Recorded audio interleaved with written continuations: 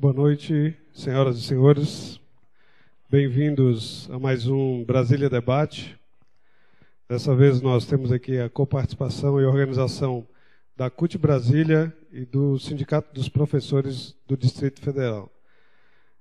Por isso, convido aqui também para compor a nossa mesa, nossa sala, né? o companheiro Rodrigo Rodrigues, do Simpro, e o companheiro Julimar Roberto, da CUT Brasília, nos ajudar aqui nos trabalhos.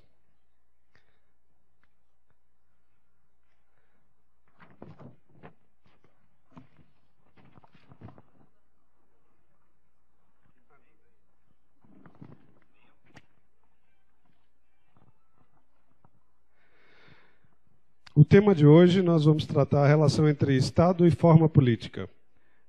Como as políticas como as políticas exploratórias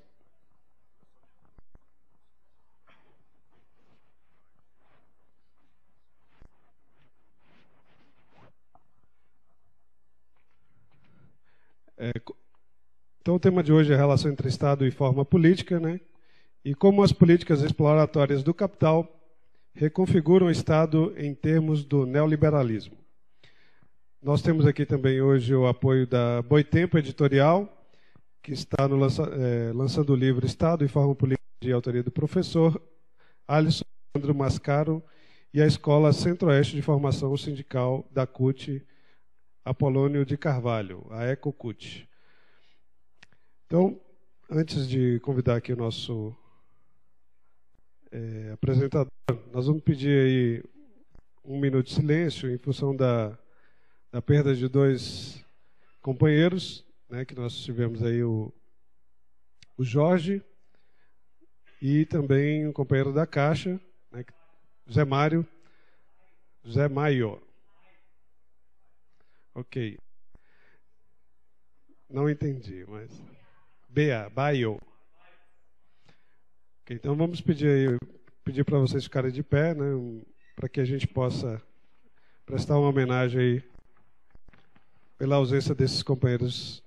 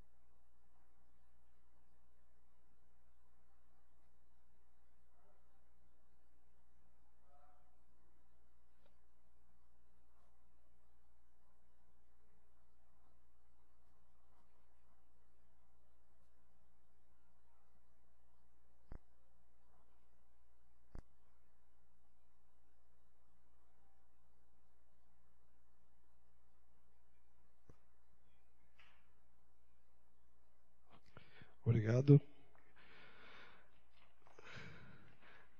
Quero na memória os nossos companheiros de luta e trabalhadores. Então vamos, sem mais delongas, ter um discurso aqui, um debate importante com todos vocês. A gente vai propor que a gente tenha uma apresentação aqui dos nossos organizadores e a gente depois passa 40 minutos para o palestrante. Em seguida a gente abre a as perguntas ou as intervenções da plateia, ok? Aí a gente vai ver, quando começam essas intervenções, o espaço que a gente vai ter para e quantas pessoas poderão é, fazer as é, participação. Então, sem mais delongas, vamos convidar aqui o professor Alisson Leandro Mascaro, o jurista da esperança. É assim que o palestrante de hoje do Brasília Debate é chamado pela revista revista Crítica do Direito. Desde a juventude, no final da década de 90, ele está na resistência ao conservadorismo neoliberal que domina a política, a intelectualidade e a universidade. Bem-vindo.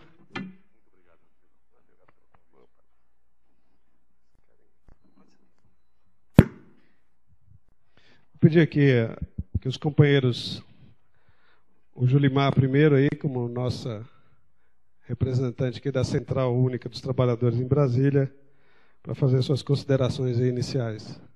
É, boa noite a todos e a todas. Bom, é, primeiramente justificar a ausência do nosso presidente da Central Única, eu, Rodrigo, teve um problema pessoal e não pôde estar aqui hoje representando a CUT. Mas a Central Única dos Trabalhadores aqui de Brasília tem apoiado esse debate, certo? Dada a importância né, que, que esse assunto requer. Porque acho que é importante a gente estar sabendo da, das origens de, do, do, né, de onde vem essa forma capitalismo. Acho que o professor vai entrar um pouco a fundo em relação a isso. O que isso afeta né, no, no, no, para os trabalhadores, né, o que é o capital realmente. E a partir daí nós temos uma ideia de como nós queremos moldar o, o, é, o nosso Estado, qual a forma que seria viável para nós estarmos aplicando aqui no Brasil, porque o capitalismo é isso. A gente passou aí nos anos 90 por um, por um neoliberalismo, um governo muito neoliberal, o, né, no caso do FHC, e os trabalhadores teve percas aí inestimáveis, né, como exemplo, questão de fator previdenciário, né, é, entre outras, né, no caso do comerciário, questão do trabalho aos domingos, que eu, categoria que eu sou, né, que é, que é do comércio. Então, com a canetada, o governo liberal faz isso em prol do, do, do capitalismo. Então, a gente entende que isso é, é importante para a gente estar tá podendo, possamos levar para nossas bases, né, o que realmente de fato é o capital, de onde veio, por que veio e, onde nos afeta. É importante também a questão das crises falar, porque quando se fala em crise, é, automaticamente nossos empregadores já tentam transferir ali para o trabalhador. Né? Então, o efeito do, da, eu acredito também que já é da, da, da, forma que, que, se é utilizado aí, né? o capitalismo em, em relação à, à, sociedade. Então, a CUT, a CUT Brasília, ela acha importante esse tipo de debate, certo? Nós estamos aprimorando aí o nosso, nosso conhecimento em relação a essa situação. E é, vamos aguardar aí, tendo alguma intervenção, a gente vai ter oportunidade de estar fazendo e vamos estar aprendendo aqui junto com vocês. Muito obrigado. Obrigado, Julimar. O professor Alisson Leandro Barbante Mascaro, aos 37 anos, é considerado um dos grandes nomes da filosofia do direito no Brasil e tem se destacado por suas pesquisas, aulas e produções teóricas baseadas em uma visão crítica do direito. É professor na Faculdade de Direito da Universidade de São Paulo, do Lago de São Francisco, onde ingressou aos 17 anos. É doutor e livre docente de, em Filosofia e Teoria Geral do Direito pela USP. Vou convidar aqui o Rodrigo também a fazer suas considerações, para que depois a gente ouça nosso convidado. Boa noite a todos, boa noite a todas, boa noite, professor Alisson, companheiro Julimar, Eduardo, em nome de todos os dirigentes presentes. É com muita honra que os sindicatos professores se unem neste projeto do Brasília Debate, né, ampliando aí, com certeza, a necessidade de fazermos diálogos com a sociedade, em especial os diálogos políticos, né, diante do cenário que nós estamos vivenciando nas últimas semanas o que tem nos exigido um grande esforço de reflexão, um grande esforço de compreensão deste fenômeno que se apresenta para nós totalmente diferente daquilo que já havíamos visto, né? mas que chama a atenção para um detalhe, né? uma análise inicialmente superficial, mas eu acho que entra na pauta aqui que vem apresentada pelo professor Alisson, que nós temos aí manifestações totalmente disformes de organizações tradicionais que nós conhecemos, né? em especial nós que somos do movimento sindical. É, cada, cada manifestante com a sua pauta, quer dizer, extremamente individualizada as, as reivindicações. É óbvio que nós enxergamos e avaliamos algumas alguns é, é, intuitos, né, algumas manobras, tentativas de pautar. Nós tivemos recentemente aí o, a rejeição da PEC 37, que, independente do debate se ela valeria a pena ou não ser aprovada, se ela seria benéfica ou não, ela entrou numa pauta sem nenhuma discussão, manifestantes sem entender exatamente o que, que significava, compraram aquilo que estava sendo vendido, foi reforçado pelos telejornais, principalmente, e virou uma bandeira, né, como se estivesse resolvendo todos os problemas do Brasil sem nem entender quais eram os benefícios. Até mesmo dentro da CUT, isso não estava pacificado, à vista que categorias distintas tinham visões diferentes e eh, o debate ainda estava sendo promovido.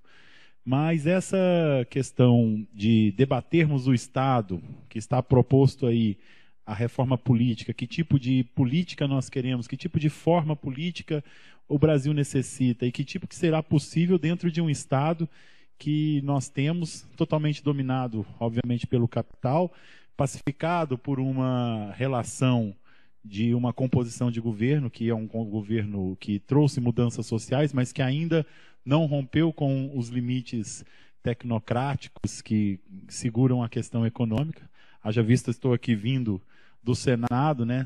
Uh, estávamos lá brigando por mais recurso pela educação e a briga que se estabelece na hora do debate é numérica, burocrática, orçamentária, né? obviamente com muitos interesses privatistas entrando neste debate e coincidentemente, na Câmara Federal, o dia da votação do, do projeto dos royalties do petróleo foi o mesmo dia da votação da, da PEC 37. A galeria completamente lotada e apenas três professores, eu incluindo um deles, que consegui entrar depois que foi permitida a, a manifestação do pessoal que era contra a, a votação da PEC e alguns poucos estudantes e nenhum canal de televisão dos todos os que estavam lá para vivenciar esse momento que a, diziam que era atendendo ao clamor das ruas ficaram para atender ao clamor de melhores serviços públicos, né, como o caso da educação. Obviamente, então, vivemos um Estado ainda impregnado dos seus valores neoliberais, uma sociedade impregnada de valores individualistas de valores que, que, que, fazem essas manifestações terem um fenômeno que aconteceu de cada um defende a sua pauta e aí muitos aproveitam o momento até para fazer as suas piadas, suas brincadeiras, os seus deboches, o que é natural, mas precisamos agora no campo progressista, no campo da esquerda, precisamos refletir sobre as transformações que necessitamos, a reforma política que precisamos e os caminhos que queremos trilhar para que a gente possa romper com esse modelo dominante atual. Então, Eduardo, para que você conceda a palavra, obrigado.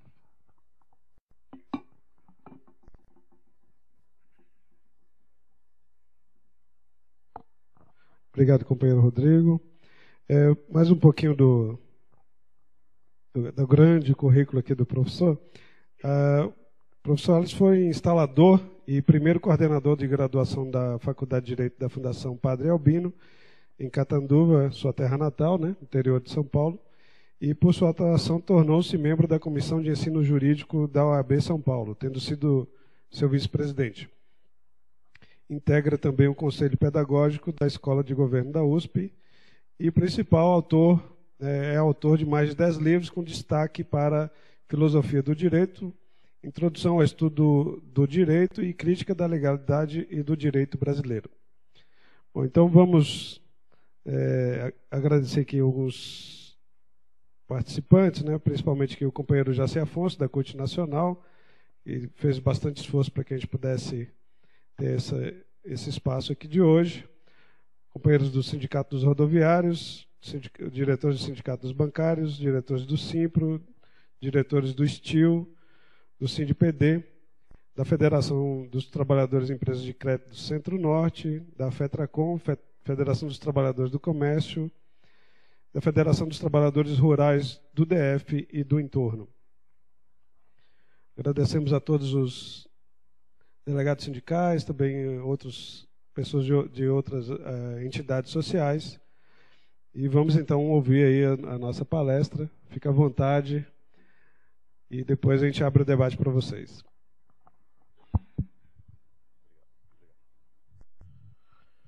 Boa noite a todos e a todas. Eu quero dizer da minha profunda alegria em estar aqui em Brasília nesta ocasião, encontrando e reencontrando os queridos companheiros de luta com os quais há tanto juntos sonhamos com um mundo melhor.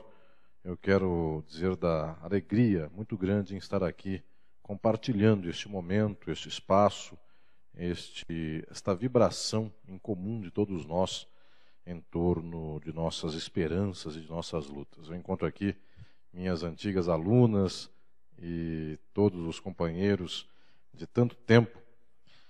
E é uma satisfação aqui em Brasília podermos juntos refletir sobre Estado, política, que é o tema desse livro com o qual venho aqui nesta noite fazer o seu lançamento no momento no qual não é mais possível, no Brasil, deixarmos de enfrentar as tantas contradições e os tantos problemas de nossa realidade social e política.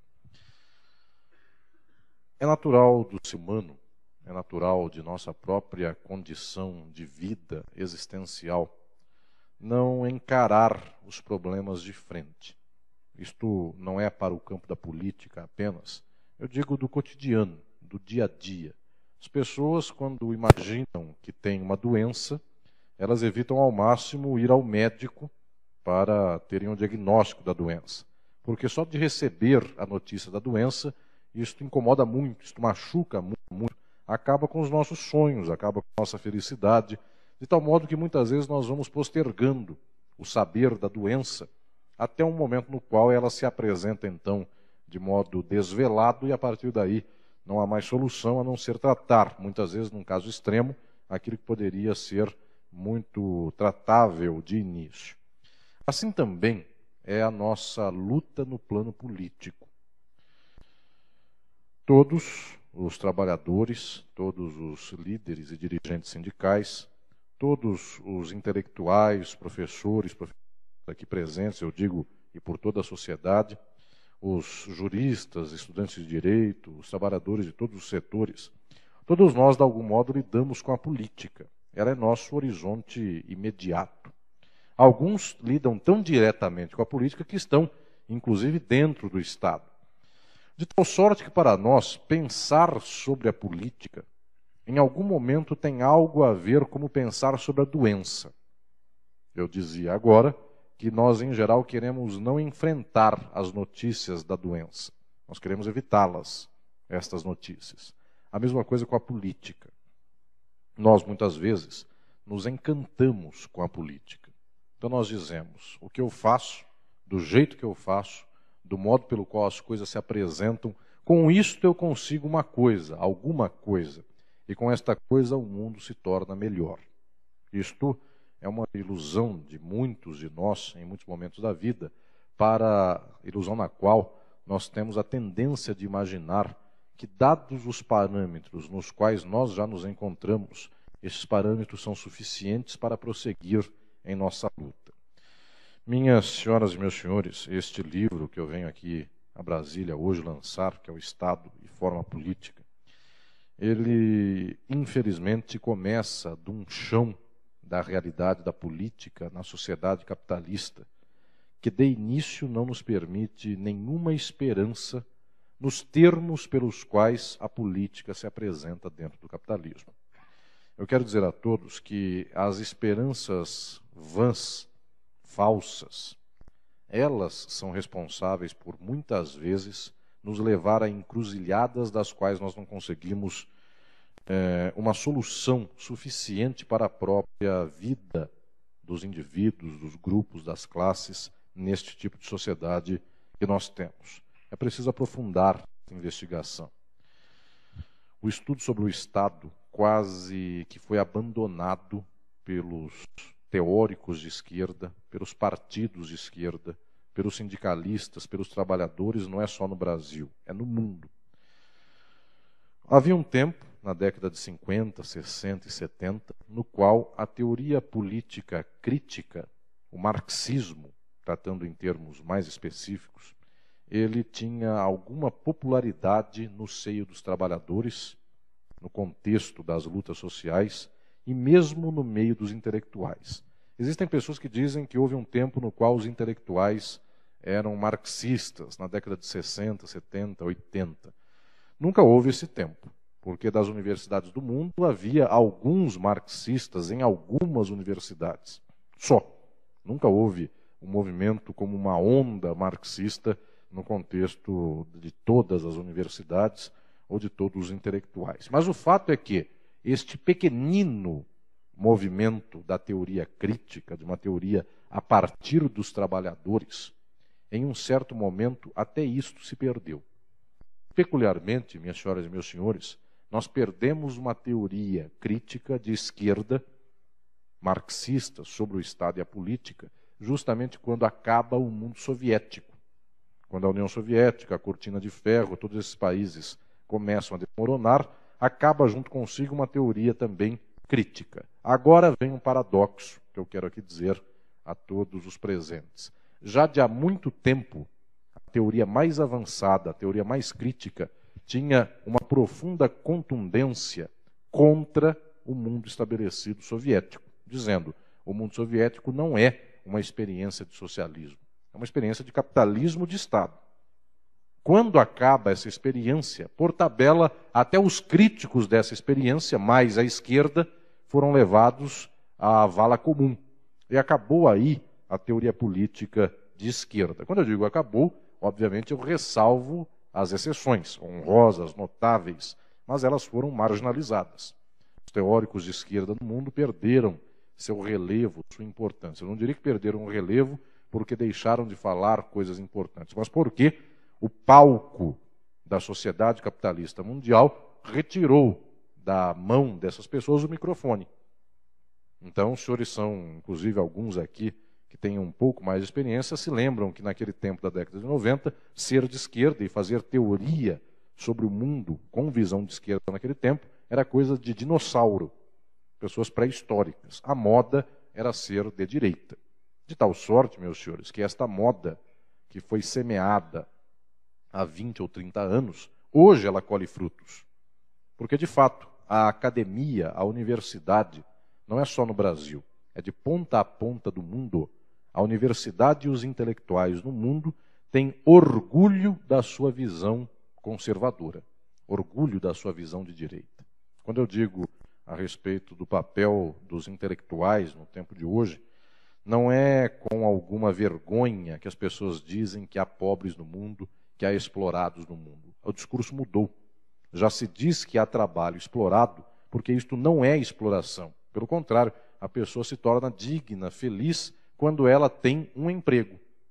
Portanto, a empregabilidade, só isto já é o horizonte suficiente. E, mais ou menos, tirando momentos de crise, de fato, o mundo inteiro oferece para as pessoas emprego, oferece um chefe. E vejam que tristeza é a do mundo de hoje, quando nós estamos felizes, quando temos um chefe, quando temos um patrão, quando alguém manda em nós. Então é como se nós voltássemos àquela condição ainda muito infantil em termos psicanalíticos, na qual nós não somos ninguém, alguém manda em nós. E se nós somos tristes, a culpa é dele. Nós não temos culpa nenhuma de todos nós, de toda a nossa condição, das nossas circunstâncias. Podemos dizer, vivemos e nascemos em tempos neoliberais Portanto, nós crescemos na desgraça. Para que pensarmos criticamente o mundo? A culpa é do outro. E qual é o outro? O mundo. Nascemos no neoliberalismo. Não tenho culpa dos, dos nossos tempos serem tão conservadores, de tal sorte que só nos resta então catar as migalhas. Meus prezados, as migalhas em termos de teoria no mundo, faz uns 30 anos, são este mundo neoliberal, liberal, e o neo aqui é um, algo que se apõe ao gosto de cada qual, é o mundo liberal com todas as suas possíveis nuances. Também na década de 90 começa a se dizer que nem socialismo nem capitalismo, terceira via. A terceira via é o capitalismo. Não há terceira via. Começa a se dizer, então, que é preciso uma democracia radical. Meus senhores, democracia radical é o que temos. Democracia radical na Europa é a Grécia, que quando quebrou no ano passado, quando foi chegou ao fundo do poço de sua quebra, o presidente da República resolveu perguntar ao povo se queria que pagassem a três bancos os juros da dívida grega ou que destinassem esse dinheiro para o povo grego. Mandaram avisar os três bancos: se fizer plebiscito, nós quebramos a Grécia antes do plebiscito. E aí não foi feito plebiscito. Isto é democracia. Que no papel diz por lá: o grego pode ouvir o povo. O povo grego pode ser ouvido. Pode, tá, está no papel e fica no papel. Quero dizer para todos que, em geral, então, nós nos acostumamos com um tempo no qual ser de esquerda é vergonha, falar mal do capitalismo é vergonhoso, e vejam, meus senhores, na boca da, do mundo, nos dias de hoje, bonito é falar capitalismo, horroroso é falar socialismo. E vejam, esta é a tragédia do nosso tempo. O fato do capital estar nas mãos de alguns e a maioria não tê-lo, isto passa por normal o fato de lutar por um mundo no qual tudo seja de todos, no qual haja a possibilidade da humanidade então se emancipar, isto é feio. Como, senhores vão de ver, que não é só no campo da política, nos dias de hoje já passa por normal dizer que o cristianismo, para falar em termos de religião, é contra a mulher, é contra o direito da mulher, é contra homossexual, contra travesti, contra muçulmano, contra quem seja de religiões tais resultado? O cristianismo é ódio. O cristianismo é inimizade com quem não é igualzinho a mim. E para o cristão é exatamente assim. O cristão fanático há de entender que cristianismo é isto: é ódio à mulher, é ódio a quem veste a roupa indecente. E aí é preciso lembrar: poderia ser amor, poderia ser olhar o outro por mais diferente e falar o contrário. Do mesmo jeito que o cristianismo dá em ódio, Capitalismo hoje leva aplauso. E socialismo, meus senhores, que é o equivalente aqui no plano político a algo tão abstrato em termos éticos quanto amor, socialismo é que leva pedrada. Falarmos de um mundo distinto, falarmos de um mundo melhor, isto é um alto incômodo, inclusive porque aqui vai mais uma vez a equivalência com a doença. Tem gente que se acostuma com a doença. Digo por lá, minha doença é pequena, eu só tenho uma dor na perna. Dá para eu mancar e andar. Para que, que eu vou, em algum momento, ir para o hospital e ter que ver, ter que observar qual é o problema de minha perna? É melhor andar, é melhor andar mancando e não ver qual é a realidade. Assim pensam muitos também na sociedade de hoje. Nós vivemos numa situação mais ou menos. Eu tenho um emprego, eu tenho uma certa circunstância de vida. Para que eu vou mudar minha realidade e vou lutar por uma sociedade melhor? De tal sorte que nos últimos tempos, nos últimos anos e décadas, em geral, a teoria política crítica, que é a mais avançada, que é a mais importante, porque ela é a única que investiga a fundo as relações do Estado, da política, do direito com a sociedade, com a ordem econômica capitalista, tudo isso foi abandonado. Em seu lugar, é, ideias, teorias e teses, as mais rasas. As pessoas começam a fazer teoria política fazendo estatística de quantos por cento das pessoas gostam disso ou gostam daquilo. E lavam as mãos. É como se a teoria política fosse um Pôncio Pilatos dos nossos tempos. Então, quando nós dizemos o povo é conservador, vai lá um cientista político, pega um certo formulário, vai às ruas e pergunta para a pessoa: Você é conservador? A pessoa diz sim. Você também é? Sim, também. Resultado: 73,9% das pessoas, chutando, podem se dizer conservadoras. Então, diz o cientista político: o Brasil é conservador, portanto, quem não for conservador não ganha eleição. Isto é teoria política. E alguém vai dizer para este estatístico: você está mentindo? A resposta dele é não. Eu fiz estatísticas corretamente. Tantos por cento de pessoas da classe A, tantas da classe B, tantos homens, mulheres, negros, índios, japoneses, da região tal, periferia, centro da cidade. A estatística é mais ou menos esta. Isto é a miséria da teoria política do mundo hoje. Isto é a miséria do nosso tempo. A pergunta maior não é quanto por cento das pessoas é, qual a porcentagem de pessoas que é conservadora ou progressista. A pergunta fundamental é por que as estruturas sociais do nosso tempo formam as pessoas para o conservadorismo? Esta é a nossa pergunta. E a resposta a isso não é confortável. Porque dizer que X% das pessoas têm tal posição política se informa e lava-se logo depois disso as mãos. Portanto, nós dizemos: aqui está o quadro do nosso tempo.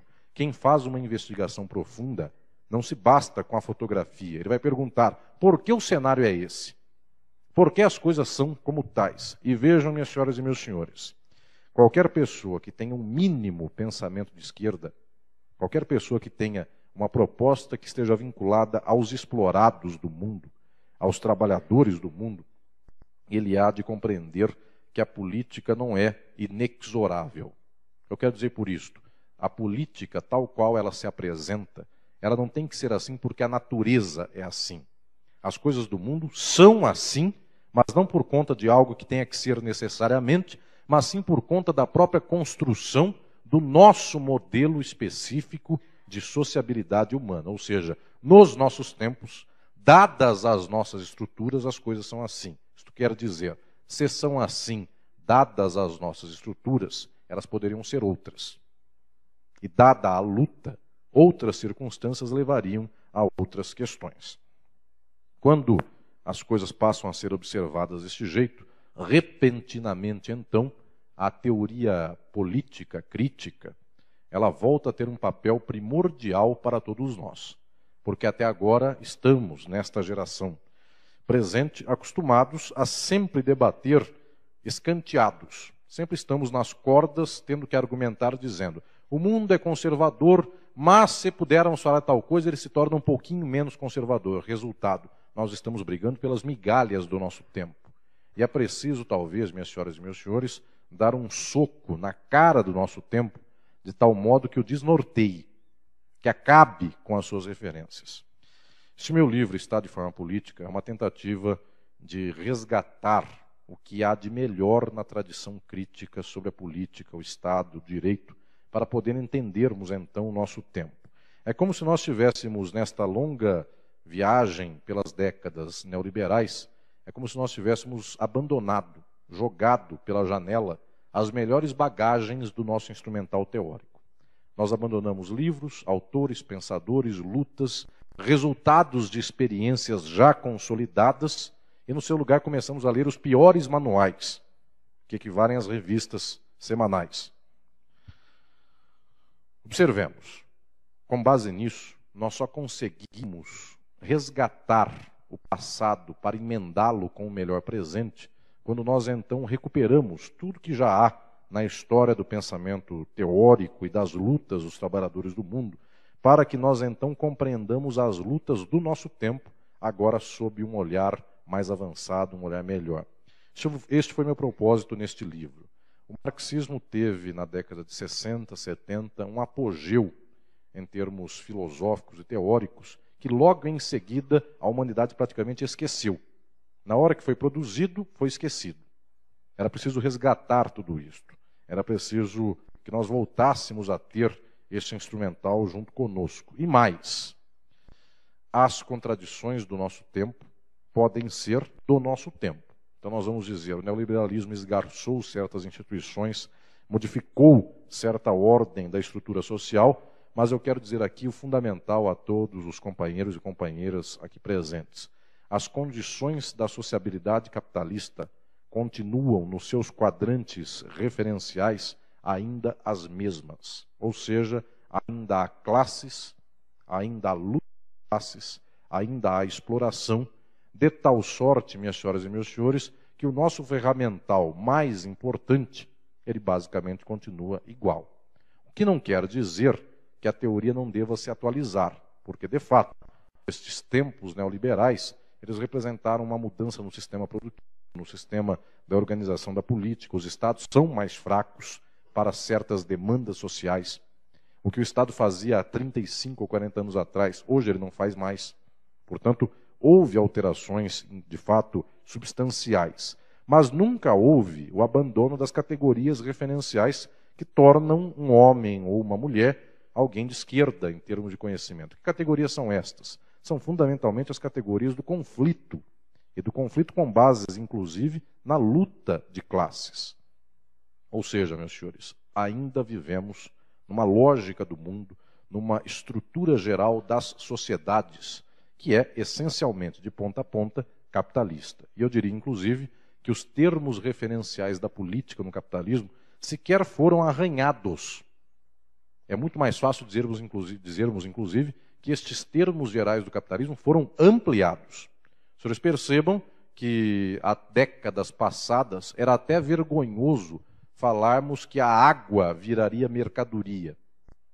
Porque a água era uma coisa quase que tida por sagrada, as pessoas precisam beber para sobreviver. Hoje, no mundo, praticamente em todas as sociedades, a água já foi privatizada. Então a água é comprada e quem não tem dinheiro não compra água, ou tem muito pouco de água. Ou alguém vai dizer: ah, quando não tem dinheiro para comprar a água, o Estado dá por esmola para o muito pobre. Mas é exatamente isso. Dar por esmola alguma coisa que até então não era sequer apropriável enquanto mercadoria. Ou seja, ao invés do capitalismo ser outro, pelo contrário, o mesmo capitalismo se expandiu por esferas até então nunca conhecidas. Eu falo para os meus alunos da Faculdade de Direito que a bioética, por exemplo, que parece um mundo novo e o jurista se encanta com esse mundo novo, começa a pesquisar clonagem, a ovelha Dolly, é, novas formas de organização e de criação de órgãos para o corpo. Isso, meus senhores, em termos gerais, é apenas o capitalismo chegando ao corpo. É que até então ele não havia percebido que vender orelha, criar orelha, vender órgãos, vender rins, pulmões, fosse possível. Um dia perde-se a vergonha e vai se dizer: se alguém precisa de um pulmão e tem dinheiro para comprar porque alguém não pode vender. Este argumento é o argumento de sempre. Apenas os fatos é que são novos. Com base em tudo isto, é preciso voltar à nossa dor inicial. E qual é a dor inicial? O mundo é cindido em classes. O mundo ainda é do capitalismo, do capitalista. O mundo ainda se estrutura numa lógica e numa organização na qual a exploração é o elemento presente. Eu fiquei muito feliz ao vir a Brasília nesta ocasião, fazendo aqui o lançamento na capital federal de forma política, porque estes pensam, pensam, pensam, pensam e fazem e escrevem no papel em branco um projeto de lei. A única coisa que lhes ocorre para mudar o mundo é fazer mais um projeto de lei. E isto, meus senhores, quero dizer o seguinte: as formas da sociedade capitalista estão impregnadas no próprio capitalismo. O que eu quero dizer por isso? Uma das formas mais importantes do capitalismo é a forma jurídica. Tudo o que for demanda, tudo o que for conflito, tem que ser formalizado de acordo com parâmetros jurídicos. Então, nunca acontece de que os trabalhadores do mundo um dia de manhã acordem e digam o seguinte: agora nós vamos tomar o capital acontece isso.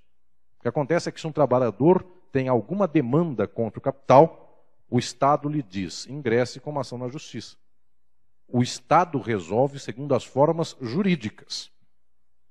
E este meu livro é Estado de forma política, porque do mesmo jeito que nós temos formas jurídicas, nós temos formas políticas.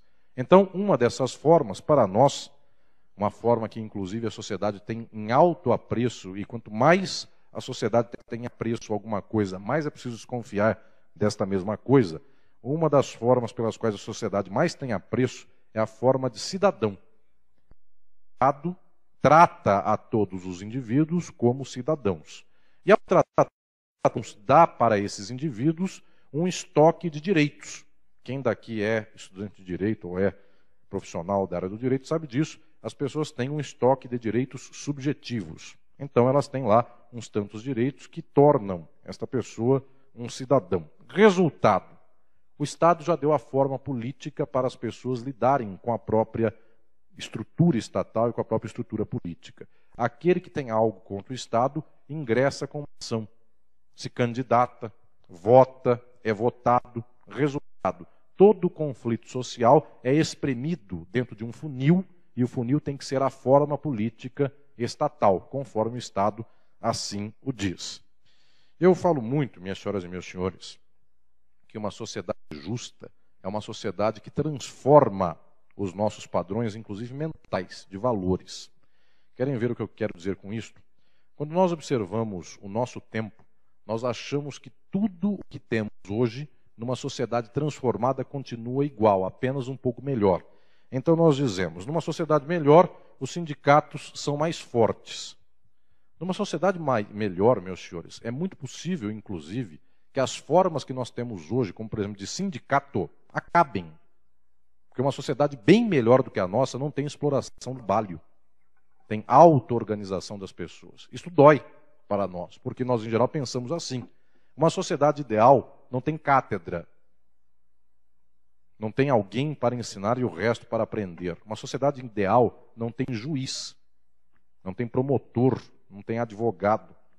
E volto mais a dizer: é indício de uma sociedade primitiva que nós tenhamos carcereiro, policial, um ser humano para prender o outro, um ser humano para deixar o outro 30 anos na cadeia, porque a desorganização social é tamanha que um ser humano só consegue sobreviver se for apartado por 30 anos do outro. Meus senhores, em 1888, no tempo em que havia duas faculdades de direito no Brasil, uma de São Paulo, que é essa minha, e a de Olinda, que depois foi para Recife, se falava do fim da escravidão. Todos diziam: é impossível que os seres humanos sejam iguais. Alguns são negros, não é possível que o negro seja igual ao branco. Como é possível que haja um ser humano que não viva em senzala? Como é possível que o fazendeiro sobreviva sem um escravo para trabalhar?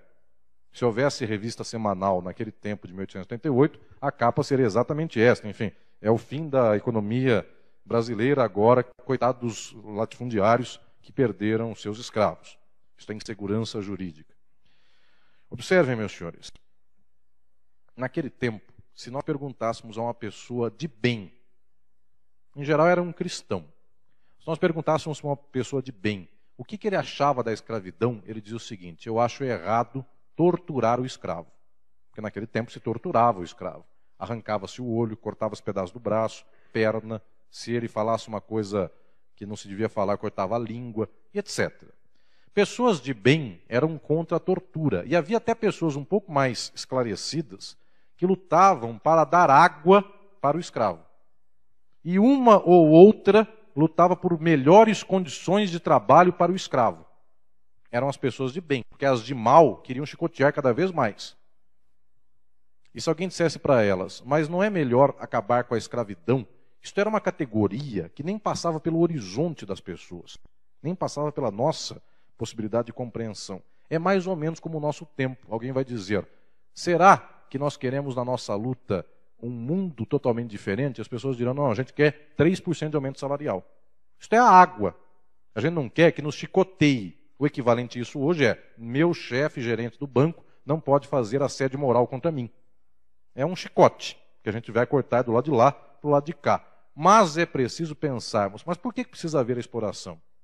Por que, que o dinheiro do Brasil tem que estar na mão de cinco grandes banqueiros? E quando eu conto cinco, eu podia fechar a mão indo reduzindo para três e dois bastavam, que são os que formam a base do sindicato dos, do sindicato dos bancos privados. Meus senhores, ao pensarmos sobre isso, é preciso então dizermos que, em termos teóricos, não nos bastam as migalhas. Toda vez que nós pedimos a migalha, brigam conosco por causa da migalha. E é preciso então pedir mais, lutar mais, e não é pedir, é lutar.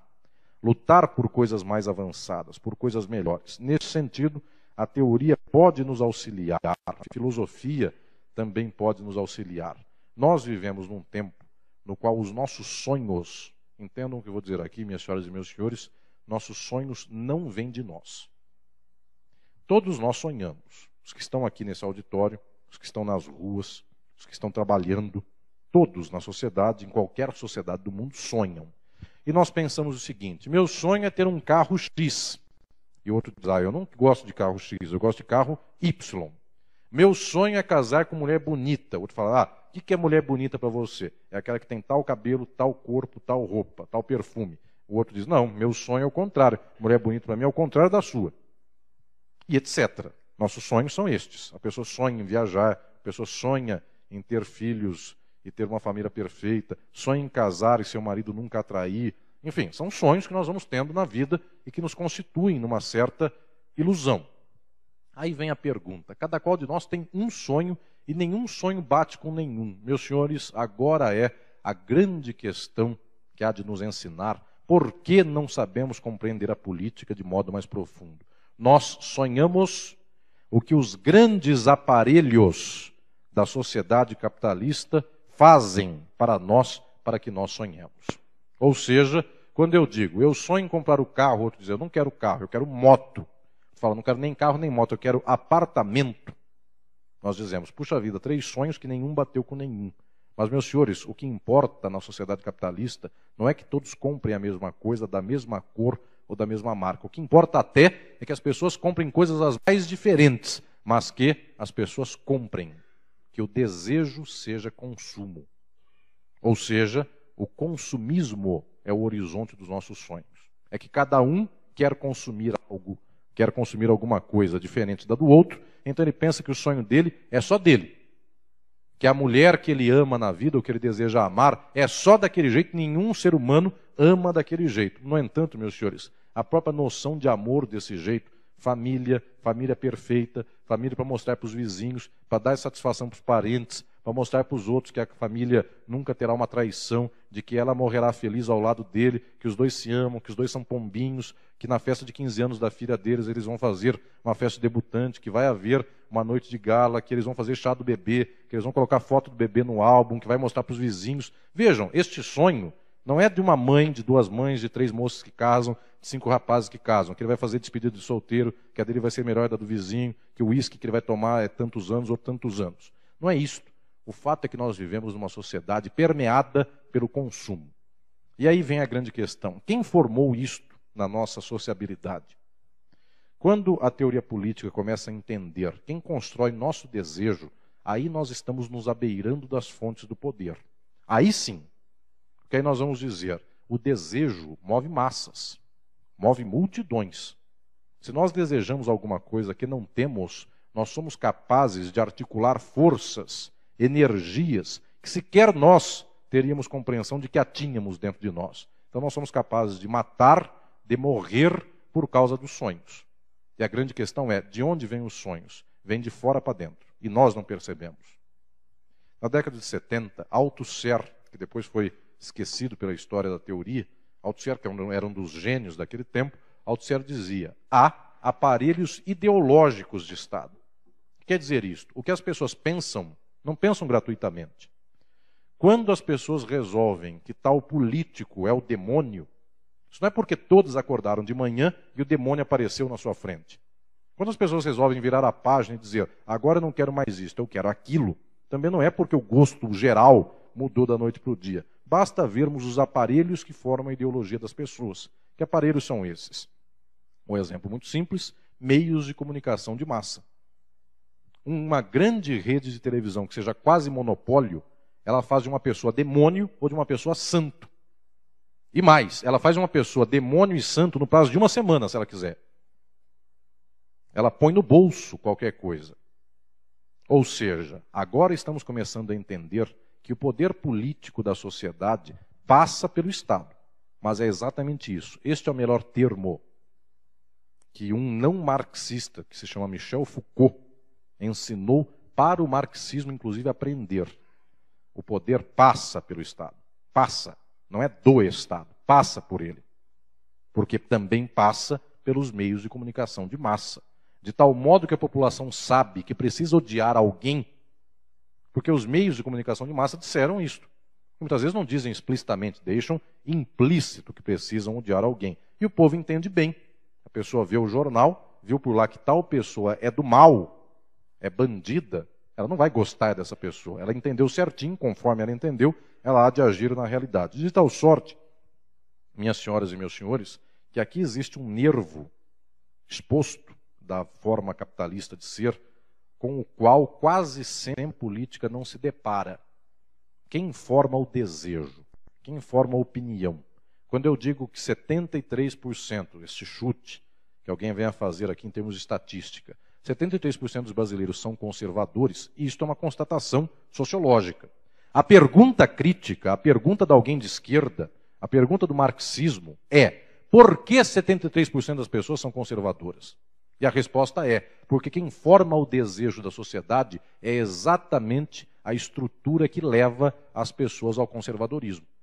Quem forma a ideia de que eu tenho que casar e a minha noiva tem que ter véu e grinalda e ela terá um final feliz após tantos anos de traição do marido, após tanto tempo de infelicidade, o casamento será perfeito, os filhos ficarão à mesa comigo na hora do café da manhã, a margarina será passada, todos beberão suco de laranja, todos são felizes, todos são sorridentes. Quem me ensinou que família perfeita é isto? É o comercial da televisão, é a novela. Daí eu entendo por que X% dos brasileiros são conservadores. Porque, de fato, aprenderam isto. Eu disse numa entrevista neste final de semana a um grande jornal de São Paulo que o milagre não é ver como é que 73% dos brasileiros são conservadores. O milagre é ver como é que 20 e poucos não são. O milagre do Brasil, meus senhores, é ver que numa sociedade que é totalmente conservadora de ponta a ponta, eu encontro centenas de pessoas aqui nesse momento. Porque o mundo não puxa para isso, o mundo puxa pelo contrário, para o contrário. O milagre é exatamente o oposto disso. São 30 anos de neoliberalismo no mundo. São mais 20 de ditadura militar no Brasil. Senhores vejam são 50 anos que se ensina no Brasil que Deus é a favor do rico.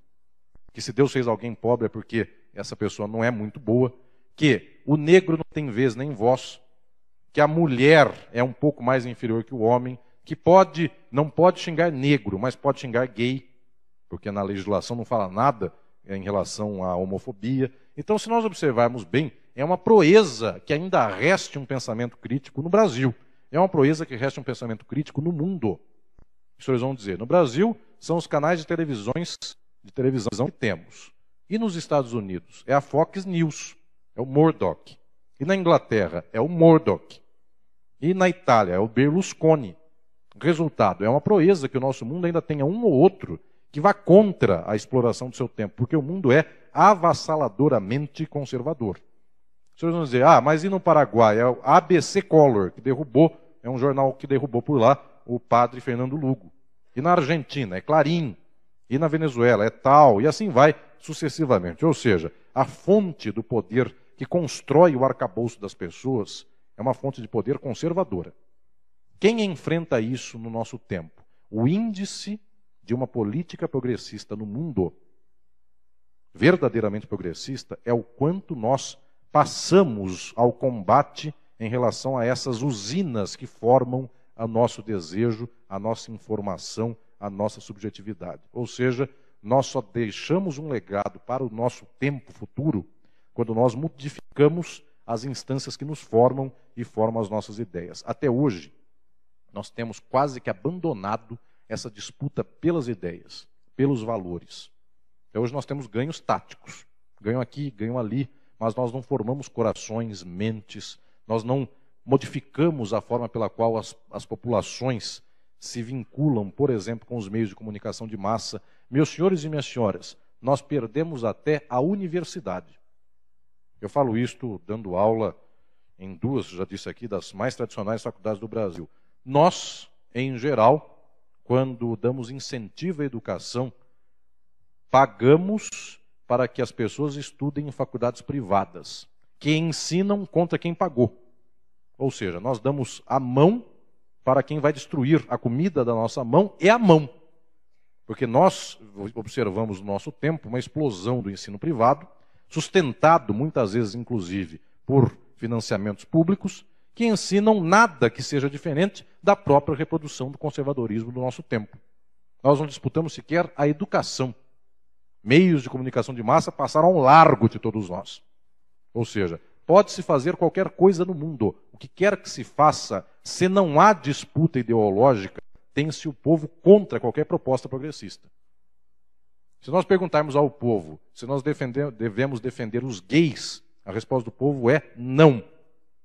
Porque o seu líder religioso quase sempre falou que o gay é o demônio. Se nós perguntarmos para o povo o que ele acha de judeu, ele não tem, em geral no Brasil, nada a dizer. Até que, fuçando na internet, ele descubra lá uns tais nazistas de algum lugar que dizem que judeu tem que morrer e se isso virar uma, uma postagem popular, aí a opinião das pessoas é que se tem que matar o judeu.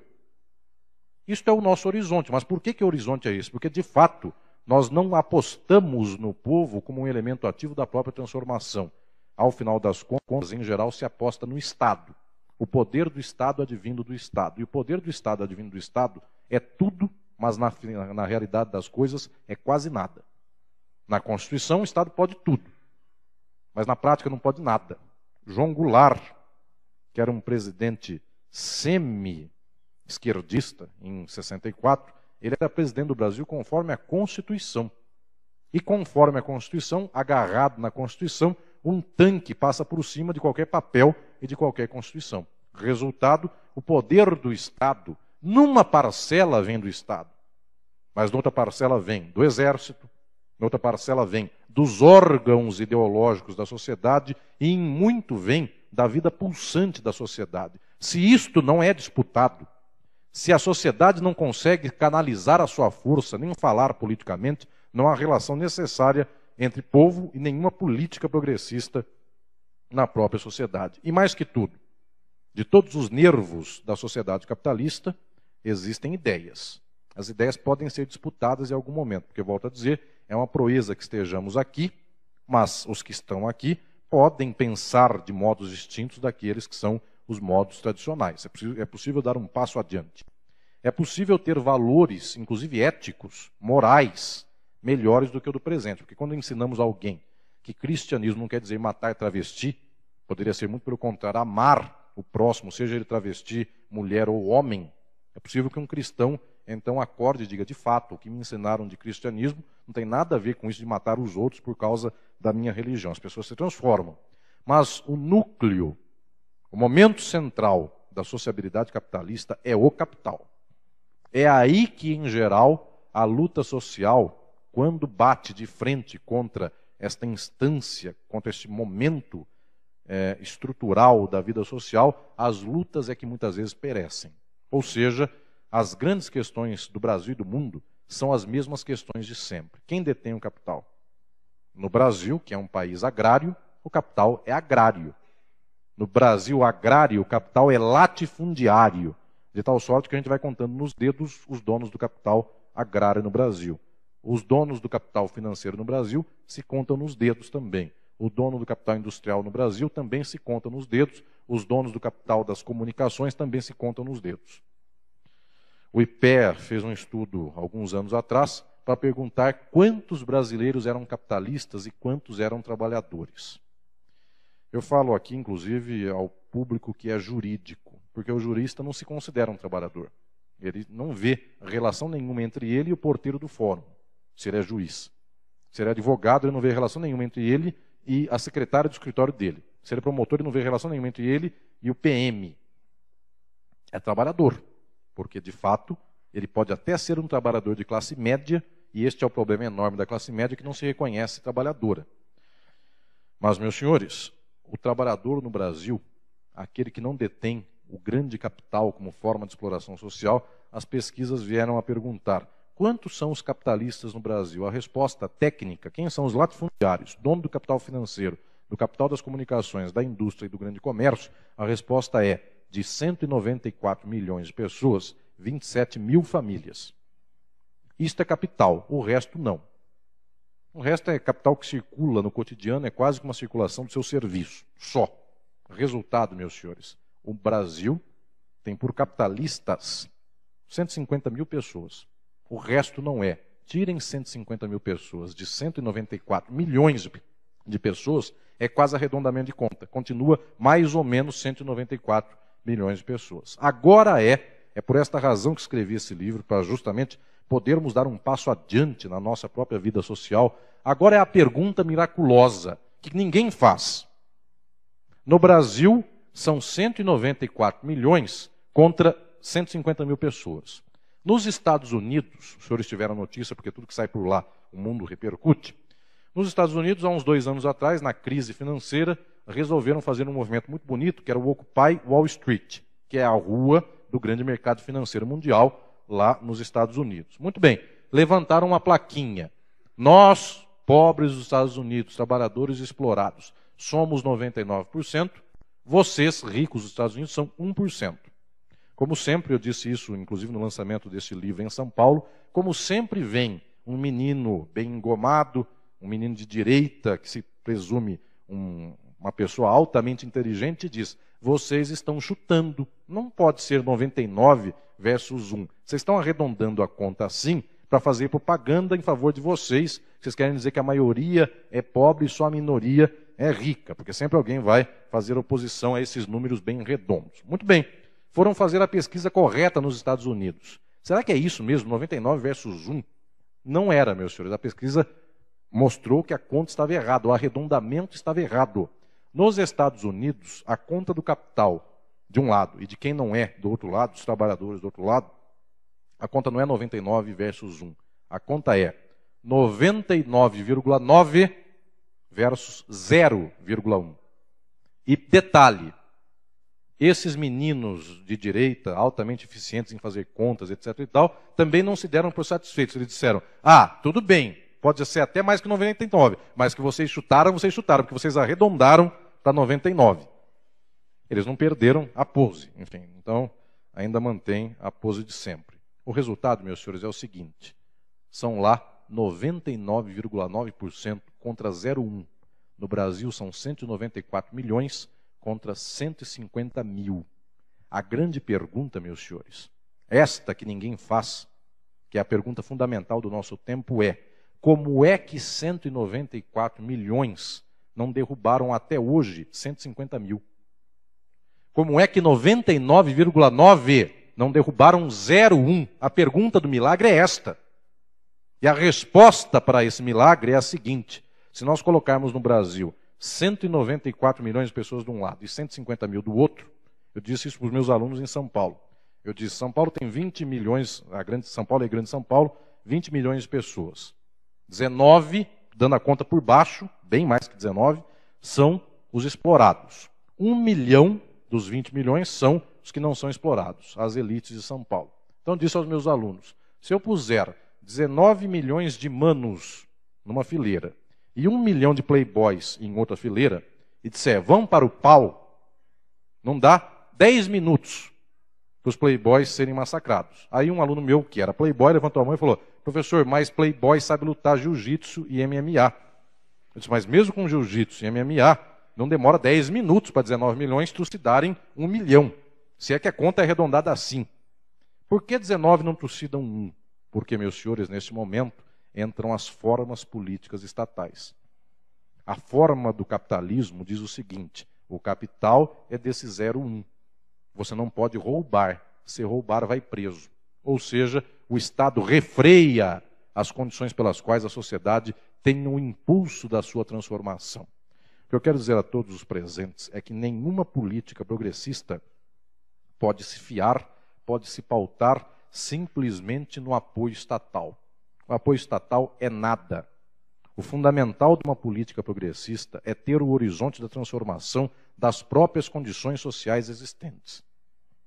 Isto, para nós, é o horizonte indelével, é o horizonte do qual nós não podemos renunciar. O mundo é injusto e a proeza é como é que ele é injusto. A proeza é como é que o homem vai para o espaço, manda uma astronave para a Lua e não consegue acabar com a favela. Esta é a proeza. Aí vem a resposta: a culpa é dos políticos. Não, meus senhores, esses estão um pedacinho da história. A grande culpa é do capital. A política está indissociável do capital. Mas a grande pergunta é: por que 194 milhões não batem em 150 mil? Outra resposta necessária, não é que uma exclui a outra, são todas juntas. 194 milhões não batem em 150 mil, porque os valores que nós demos para esses 194 milhões são o seguinte: você nascerá e morrerá e não lutará pela transformação social. Você será conservador, porque Deus quis assim, porque Deus quis o pobre, porque Deus quis pobreza na África, porque Deus quis que o árabe fosse morto ou coisas nesse sentido. Resultado, nós formamos a sociedade para a sua castração. Não tenham medo, não tenham nenhum medo. Quem fala em favor dos injustiçados do mundo pode apanhar.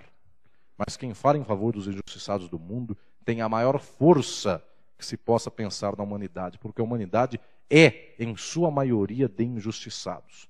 Quem defendeu o escravo? Quem defendeu o escravo no tempo da escravidão apanhou. Muito.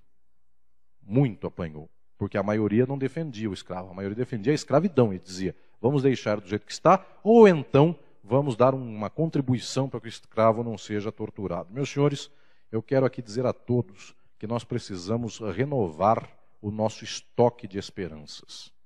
Trabalhadores do Brasil que apanharam uma ditadura não têm razão de ter medo da luta. Quem apanhou em tempos muito graves, em tempos muito sombrios, não tem razão de lutar quando a luz do dia está acesa. Muita gente já lutou de foice em noite escura e se machucou e apanhou. Por que não lutar em dias mais claros? Ou por que então não lutar em qualquer hora do dia e da noite? O que eu quero dizer aqui a todas as companheiras e todos os companheiros é que se nós pensarmos simplesmente na retaguarda, se nós pensarmos que estamos administrando o caos do nosso tempo, isto nos faz perder o sentido da história. Eu vejo aqui na face das minhas companheiras, dos meus companheiros, pessoas que compartilham grandes horizontes, grandes energias. Alguns vão de pensar, mas é difícil falar, é difícil agir grande no nosso tempo, porque em geral nosso primeiro passo é de retrocesso. Nós dizemos, acuados, vamos para trás. Meus senhores, permitam-me dizer, acuado, o mundo está há muito tempo. E acuado, o mundo tem dado passo para trás constantemente e tem gastado energia para marcar passo no mesmo lugar. Só há grandeza, só há possibilidade de ganharmos a história quando o nosso passo for à frente. Nesse sentido, eu conclamo a todos aqui presentes e a toda a sociedade para que nós possamos dar um passo na teoria e um passo na prática, ou seja, para que os nossos sonhos voltem a ser os melhores sonhos possíveis. Quando a Revolução Francesa estourou, quem defendia o rico sentava à direita da Assembleia Francesa. Quem defendia o pobre sentava à esquerda. Eu disse isso outro dia também, num congresso em Minas Gerais, em Belo Horizonte. Hoje é tal a indigência das pessoas, eu permitam-me aqui dizer a todos os presentes, que eu já encontro pessoas, inclusive no meio dos, dos trabalhadores, no meio sindical, que dizem o seguinte: eu sou líder sindical, eu só não sei porque eu tenho que ser de esquerda. Aí eu digo, mas que é esquerda para você? Então algumas pessoas dizem, eu já ouvi essas respostas. Ah, as pessoas do bem, segundo a minha religião, vejam as deformações que o mundo vai criando, as pessoas do bem, Deus escolhe para sentar à sua direita. Aí como é que eu posso ser de esquerda? Ou melhor, ouvi falar em que religiões de africanos trabalho de esquerda é daqueles tipos piores possíveis. Como é que eu posso ser de esquerda? Até isso se escuta. Então é preciso lembrar: quem defendeu o explorado era a esquerda. Quem defendia o explorador era a direita. É este o nosso sentido. Por que a esquerda é vermelha em qualquer lugar do mundo? Porque o símbolo mais importante da luta dos trabalhadores é o sangue que foi derramado, que continua sendo derramado e que há de ser derramado para a transformação social. Isto não é vergonha, isto é alegria. Quando eu vejo em alguns momentos as pessoas terem que ter vergonha do vermelho, é preciso então ensinar a população, ensinar o povo. O que se ganha no mundo se ganha com sangue. E o sangue é bonito. E isto é muito bonito para a nossa luta. Meus senhores, é preciso então que nós voltemos às estacas iniciais para refazermos esta trajetória. Este foi o propósito desse meu livro, Estado e Forma Política, foi o de buscar consolidar tudo que o nosso tempo já havia pensado, para então podermos dar um passo adiante em termos de teoria, em termos de compreensão do mundo. Meu sonho, que eu quero compartilhar aqui com todas as companheiras e todos os companheiros, é que isto, que é a pancada da verdade, que dói em todos nós, é uma pedrada na nossa cabeça, que nos ensina que o mundo é injusto e que a injustiça que nós vamos aceitar um dia no nosso horizonte é nenhuma, porque o nosso mundo tem por horizonte a transformação das condições de exploração existentes. Eu quero dizer a todos os companheiros e companheiras de que esta energia, quando bate no nosso peito, quando esta pancada vem para nós, não tem condição de não termos um ser humano conosco, inclusive aqueles que são os exploradores do mundo. Se um dia tiverem condição mínima de dignidade existencial, até eles dirão: para que eu quero mil pratos de comida se minha boca é uma só? Para que eu quero vinte casas se o meu corpo só se abriga na hora em que está numa casa apenas? Ou seja, eu quero dizer a todos que é preciso a luta, que é preciso conflito, que é preciso avançarmos cada vez mais. Mas mais que tudo, nosso sonho é tão bonito, nossa água dá de beber para tanta gente, mata a sede de tantos, e nosso alimento é tão suficiente para aplacar a fome do mundo que todos beberão, todos comerão, todos terão a satisfação de si. Este sonho de todos é o melhor da justiça, é o melhor do socialismo, é o melhor das lutas do nosso tempo que todo trabalhador, todo explorado, se um dia foi explorado, se um dia se sentiu humilhado, se um dia se sentiu injustiçado, ele tem o peito que bate, ele pode dizer: Eu também estou nessa luta. Muito obrigado.